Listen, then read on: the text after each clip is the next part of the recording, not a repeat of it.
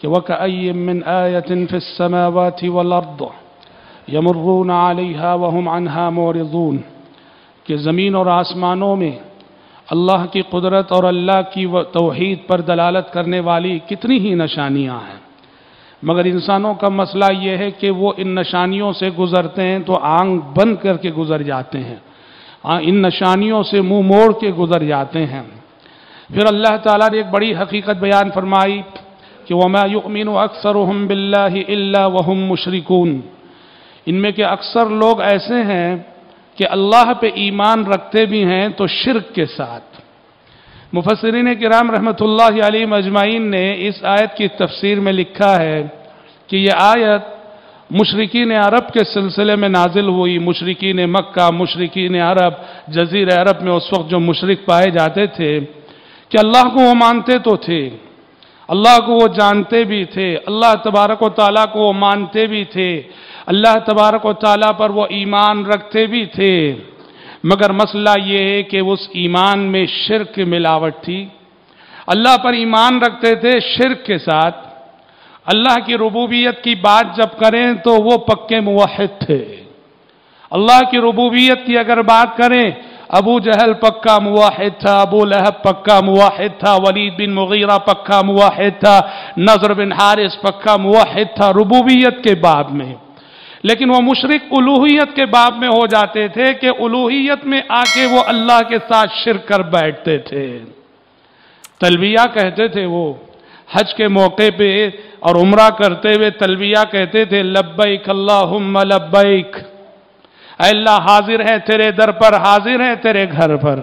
لا شریک الگ پروردگارہ، تیرا کوئی شریک نہیں ہے۔ دیکھو اللہ پر ان کا ایمان۔ ہاں بولتے تھے اللہ شریک، بس ایک کو تیرے ساتھ شریک کرتے ہیں۔ ہر قبیلے کا ایک بت ہوتا تھا اور ہر قبیلہ اپنے بت کو اللہ اللہ کے ساتھ شریک کرتے ہوئے کہتا تھا، اے اللہ ہم مانتے ہیں کہ اصل میں تو لا شریک ہے، لیکن بس ایک خدا کو، ایک بت کو تیرے ساتھ شریک کرتے ہیں۔ ہو الگ تم لکھو ہوا ما ملک۔ وہ بھی ایسا ہے کہ اس کا مالک بھی تو ہی ہے، وہ کسی چیز کا مالک نہیں ہے۔ دیکھو یہاں یہ چیز وما يؤمن اکثرهم بالله الا وهم مشركون یہ اللہ پہ ایمان رکھتے بھی ہیں تو شرک کے ساتھ اس تلبیے کے سیغے میں ان اللہ کا اللہ پر ان کا ایمان بھی نظر آ رہا ہے ان کے شرک کی صورت بھی نظر آ رہی ہے۔ قرآن نے دوسرے مقام پہ کہا، یہ شرک کرنے والے مشرک کہتے تھے، ما نعبدهم الا ليقربونا الى الله زلفا کہ ہم جو لات کی پوجا کر رہے ہیں، منات کی پوجا کر رہے ہیں، عزا کی پرستش کر رہے ہیں حبل کی پرستش کر رہے ہیں، فی نفس ہی ان کی عبادت مقصود نہیں ہے، بلکہ ہم ان بتوں کی پرستش اور پوجا اس لیے کر رہے ہیں کہ ان کے واسطے اور وسیلے سے ہم اللہ سے قریب ہونا چاہتے ہیں۔ اور قرآن نے ایسوں کو مشرک کہا۔ حضرت ابن عباس رضی اللہ عنہ نے اس آیت کی تفسیر میں لکھا ہے۔ اللہ ابن کثیر نقل کرتے ہیں۔ ان کا ایمان کیا تھا؟ ان کا یہ کہنا، اللہ خالقونا، اللہ رازقونا وہ کہتے تھے کہ ہمارا خالق اللہ ہے۔ وہ مانتے تھے کہ ہمارا رازق اللہ ہے۔ ہاں عبادت کی جب بات آتی، اللہ کے ساتھ شرک کر بیٹھتے تھے۔ اس مضمون کو قرآن مجید نے دسیوں آیتوں میں بیان فرمایا ہے۔ وَلَا إِن سَأَلْتَهُم مَّن خَلَقَ السَّمَاوَاتِ وَالْأَرْضِ وَسَخَّرَ الشَّمْسَ وَالْقَمَرَ لَيَقُولُنَّ اللَّهِ۔ اے پیغمبر، اگر آپ ان سے سوال کرتے ہیں، اے مشرکو، بتاؤ زمین کو کس نے پیدا کیا؟ کہیں گے اللہ نے۔ ان سے پوچھیں گے بتاؤ آسمانوں کو کس نے پیدا کیا؟ کہیں گے اللہ ہی نے۔ ان سے پوچھئے کہ سورج اور چاند تمہارے لیے کس نے مسخر کر رکھے کہیں گے اللہ نے۔